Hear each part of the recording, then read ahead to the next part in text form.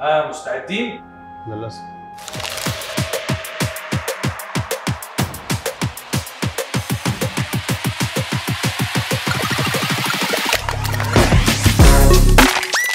البداية كانت صعبة.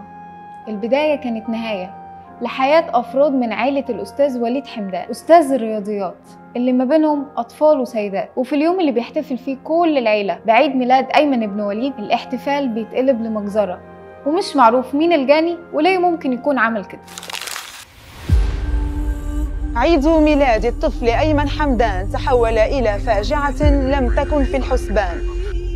شو بدكن فيه لوليد؟ بدنا أجوبة واضحة ودقيقة لحتى نبعد الشكوك عنك في اليوم ده بينزل وليد عشان يشتري تورتة ويفاجئ أيمن لكن بيتفاجئ هو بموت كل الضيوف. ولحسن الحظ بيكون أيمن لسه عايش وبينقله للمستشفى. والمفاجأة الثانية هو اختفاء سارة مراته من بين كل الحضور وما بيعرفش هي عايشة ولا ميتة.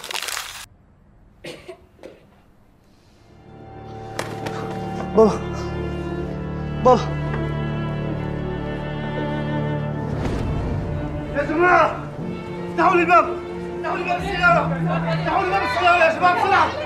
شيلي شيلي هربته شيلي هربته افتحي افتحي اتصلوا بالشرطة يلا يلا اتصلوا بالشرطة اتصلوا بالشرطة الشرطة بتحقق وبتعرف إنها مش سارة وإن اسمها الحقيقي هند لاجئة سورية ودخلت لبنان وغيرت هويت وده كان الخيط اللي من خلاله هنعرف مين السبب في كل اللي حصل. خليل العسل أحد رجال العصابات بلبنان واللي بجريمته دي كان بينتقم من هند.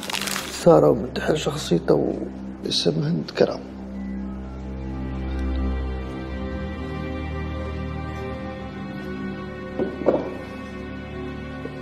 أستاذ وليد مرتك فاتت من الحدود السورية باسم هند كرم وبلبنان زورت هويتها. هند حاولت تقتل خليل فحرقت بيته من غير ما تعرف إن مراته وولاده جوه. علشان كده سافرت للبنان وغيرت اسمها. لكن بعد سنين بيوصل لها وبيخطفها وبيقتل كل اللي معاها وبيحاول وليد يوصل لها لكن بتواجهه عقبات كتير. كان بدك تحريني إلي أنا بس؟ بس يا ريتك عملتيها. أهون ما أشوف ولادي مفحمين. غدرتي فيا أنت كنت بتمنى الأرض تنشق وتبلعني. دمرتيني. القصة صار لها سنين بس الوجع كأنه امبارح.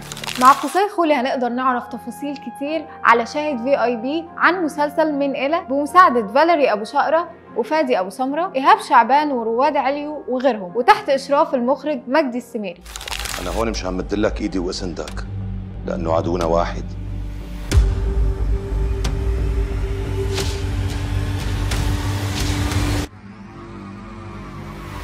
انت اللي عم بتدور عنهم عملوا مجزرة. شيل السلاح من إيدك وما تعقد القصص أكثر من هيك. القصة صارت قضية رأي عام. كم مجرم في المسلسل يستاهلوا يتقبض عليهم؟ شوف بقى خليل وهند وهاني أخوها وممكن يسيب القوس مفتوح.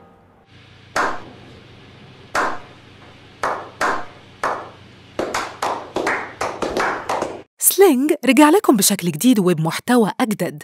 دلوقتي تقدر تستمتع أكتر بكل ما يعرض على تلفزيونك العربي مع Sling Arabic TV كل اللي عليك تضغط على Guide من حسابك الخاص وبعدها على Sling Central Arabic channel وبكده تقدر تتابع المحتوى المفضل ليك وكل الخدمات اللي بيقدمها لك زي ال upcoming releases اللي بتعرض لك promos العروض الجديدة على قنواتنا.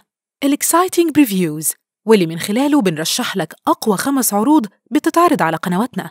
ال Arabic reviews واللي هتعرف رأي بعض المشاهدين فيما يعرض على قنواتنا.